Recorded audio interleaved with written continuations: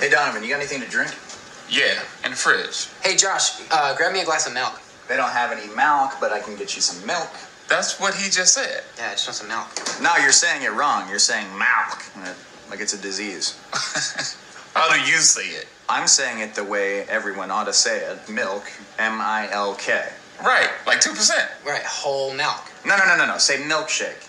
Milkshake. Okay, now say milk. Milk. Are you hearing this? Yeah. The man wants a glass of milk. Milk? Give him the milk, Josh. Donovan, inside voices, please. Sorry, Dad. My white friends.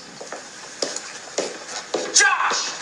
Pour me a glass of milk! Why are you yelling at me? Just give him the freaking milk. You guys aren't even saying the same thing. We're all saying milk, Josh! No, you're saying milk. You're saying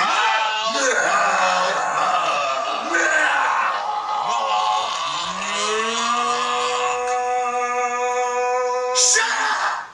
Shut up! Better put it down,